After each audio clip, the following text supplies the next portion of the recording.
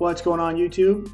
We are in round four. We're going to round five. I won the last round, so I'm 2 0 against company decks, and 0 2 against non company decks. Uh, my opponent last turn was played. Looks like he was kind of new, but it's all right. A win is a win is a win. So, again, we're trying to run off four in a row. So, hopefully, we can get up there a little higher. Let's see where I am going into the round. Sitting at 65. Though 63 has dropped, so I'm at 64. The three and ones go all the way down to 41. The two and twos go down to 85. So I'm on the lower end of the two and twos, which isn't good. But all you can do is win. But yeah, let's get back to it. I guess so someone in chat was telling me to bouncing. Pick up my Snapcaster, take another turn. Pick up my Snapcaster, take another turn. That's just gross. How does one take so many turns? I guess it works out with Jace because you can brainstorm your miracles away. Hopefully we don't play that. At least we got some good tools. Like I've got two decays, I've got four stubs, disdainful strokes, Thoughtseize Inquisition. On the die roll? Yeah, we'll keep this. Fetch. So like this, I'll scry here, and if I like what I see, I'll just go Godless Shrine. And this will get Breeding Pool. If I don't like what I'll see, I'll fetch it away. Opponent mulligans. There are a few things. What is this? Oh, he's got a ley line. Oh, all right. We just saw like a little pause. I was like, what's going on? My opponent did keep a card on top, but I would rather. So, does this automatically give me blue green? It probably does in order to me cast Jace if I draw it. So actually, I think I'm just going to look at his top card here. Eldritch Evolution. All right.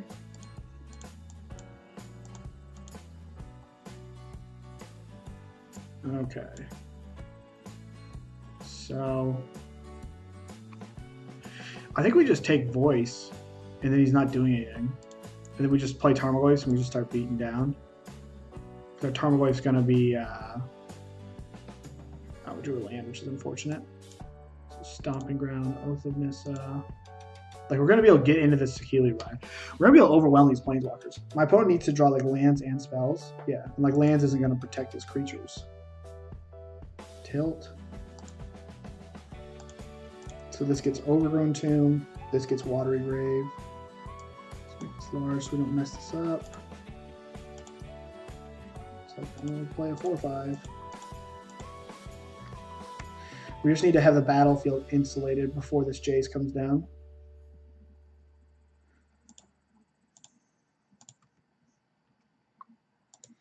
That's not bad. gives me some insurance against creatures. Then we can just beat down. Play this fetch land in case some shenanigans happen. My opponent's probably playing a Kiki Jiki Saheeli Rai deck. Which is kind of cool. It's going to be difficult to sideboard against this deck. And always, the sideboard, this deck always has the option of like going over the top with their sideboarding, where they just board out their combo. They become like some rug value deck that while Sex Against 11 combo decks in the format. Okay, so we drew that. It is very good. Okay, that's not bad. Well, it's not good against combo decks, it's good against decks like mine. So.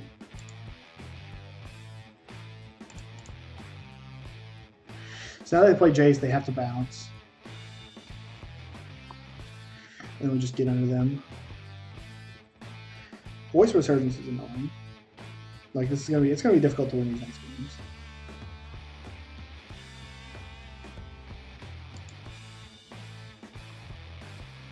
So he's got the evolution. So we respond to him making mana here by Fatal pushing this. Still gonna be able to play a Jace, but then either of our creatures are lethal because we have four fives.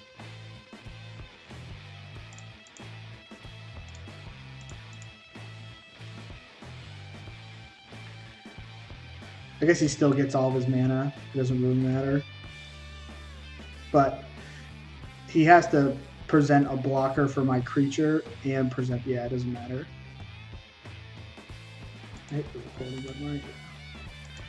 Okay, so I don't know a lot about my opponent's deck. We know that they're like a Jeskai. I don't think Collective Brutality is actually that good against them.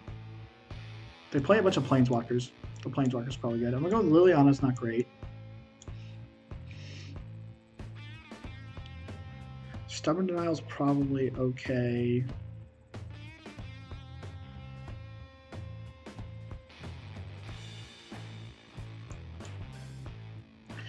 Don't think I have a lot of cards that are that great. Like, I could bring in Lingering Souls to pressure his Planeswalkers, or I could just destroy them. I think I'd rather just destroy them. Like, I feel like this J this game definitely... I think this is a Jace game, because I think that this game could, like, bog down. If we're going to look to play a longer game, I'm going to cut Street Wraith. Probably these. This is also good.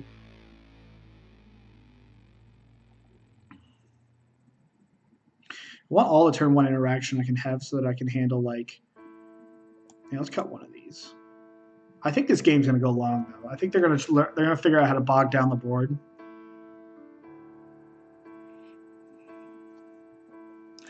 Flaying Tendrils is probably good too. Decay hits creatures. I'm gonna cut a Tarmogoyf.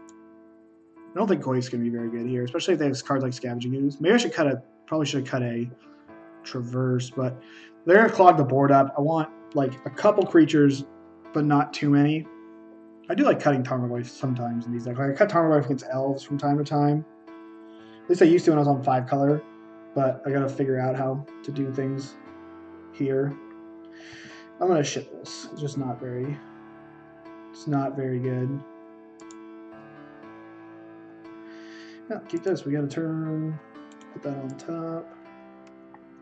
This is a aggressive Death Shadow, which is nice. This is gets his Watery Grave.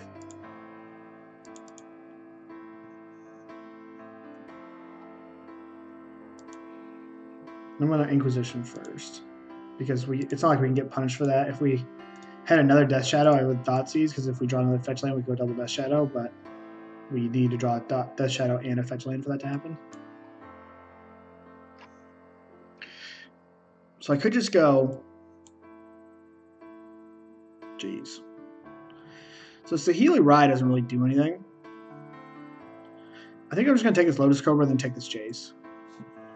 Just leave them with the Sahili. Takes away their turn 2 play. Knocks them off tempo a little bit.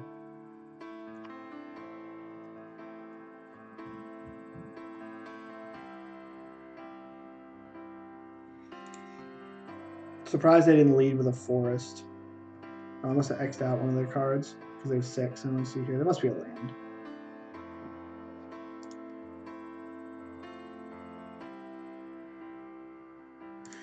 Let me look at my top card here because if I have another Thoughtseize on top, I'll just Thoughtseize the Saheeli. It's an Inquisition, which is kind of unfortunate. Wish I could draw those in reverse order. But I'm just going to take this Jace. Inquisition's going to miss next turn, I think. Unless our opponent doesn't play the Saheeli for some reason. Hopefully they ping me so I can get my Death Shadow into play. That would actually be nice.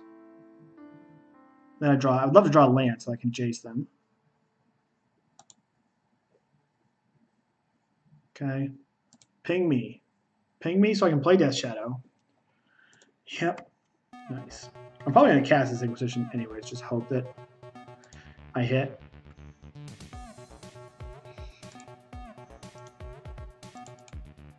So we get lucky. We got lucky.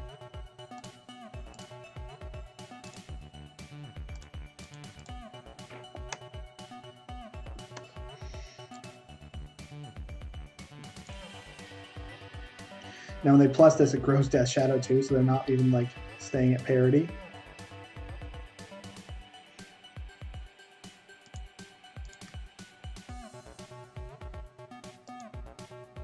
Don't even think I'm going to cast that because it doesn't get me like. I need a blue land order to get Jace. They did draw a spell. Like I am going to be in trouble against this Sun Titan, which appears to be coming down next turn. Bloodbraid Elf. Alright. Into a Birds Paradise.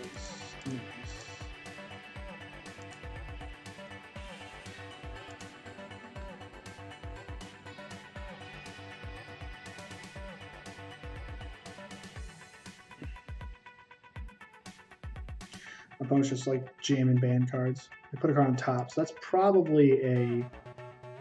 Um, if I had to assume, that's probably a Sun Titan.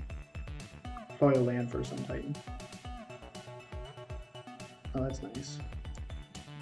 Kind of.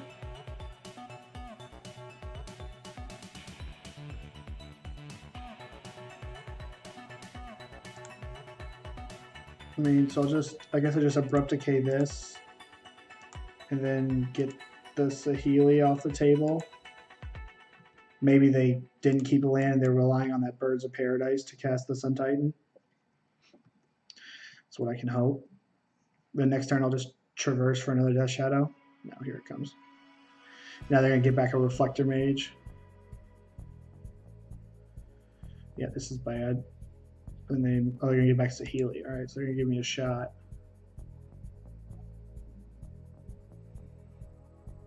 They're gonna make a copy of it. And this gets back Reflector Mage. And it's got haste, so I'm just actually dead. Didn't see that. Didn't see I should have seen that. I just didn't even think about it. I mean there's nothing I could have done to beat it, but it was worth it was worth noting. Like I should have been on top of that. So on the draw, I can cut like a discard spell and then maybe bring back in a Goyf when I'm on the play to be a little more aggressive. Flaying Tendrils doesn't seem very great. They all their creatures seem to be a little larger. They're like a Jace deck.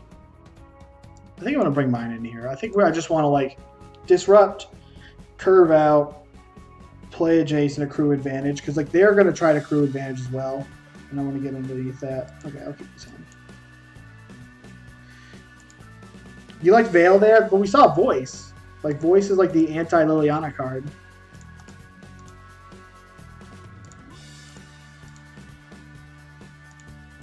That's a turn two shadow. And if we get a target, then I can go get another shadow if we find something to hit here. I guess the uptick on Lily is appealing.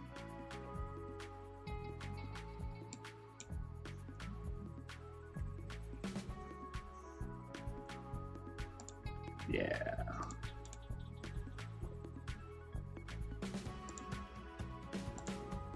This is a much more threatening draw.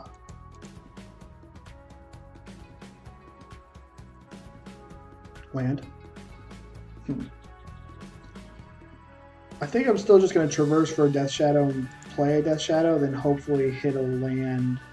Though,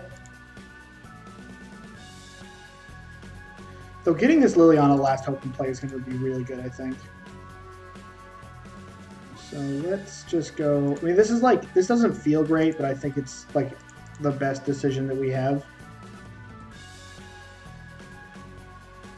Mm-hmm. Well, I mean, if they've got the Saheeli, then they're playing off the top pretty effectively, right?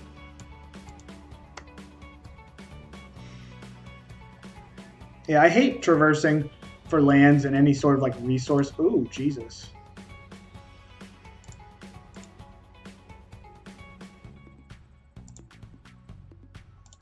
Now we're just going to get in there. I might not even play my Liliana, honestly. I might just like hold up Stubborn Denial.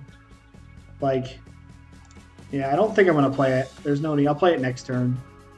I'll just have Decay. Yeah. Opponent's on the old one land heater.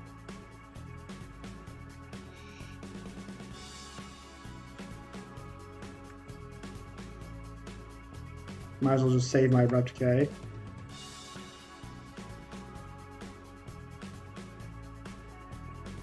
Now I'm going to use the Abrupt Decay and just traverse for another Death Shadow.